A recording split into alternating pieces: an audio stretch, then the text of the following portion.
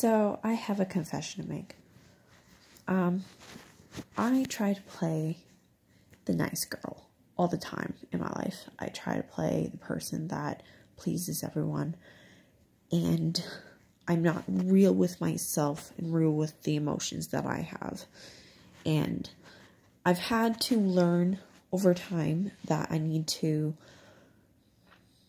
you know what, if I'm going to have a problem with this later, I'm going to say no now. like, I really need to learn that. Um, because it's so easy for me to get into the trap of going and there's like, okay, something I do is when I'm standing in line, I'll let somebody else go in front of me. Now, if I have to get somewhere by a certain time, then that's not okay for me to let somebody else go first. But, like, yes, there's arguments to be made that they need to get to where they need to go on time, but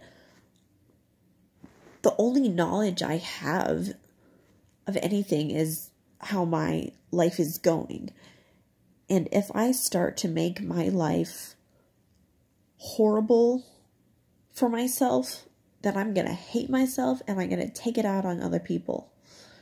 So I think that take care of yourself movement is like just basically saying don't care for others so much that you hate yourself cuz that that doesn't get us anywhere and we we start taking it out on other people later on. So, uh, yeah. Anyway, take care.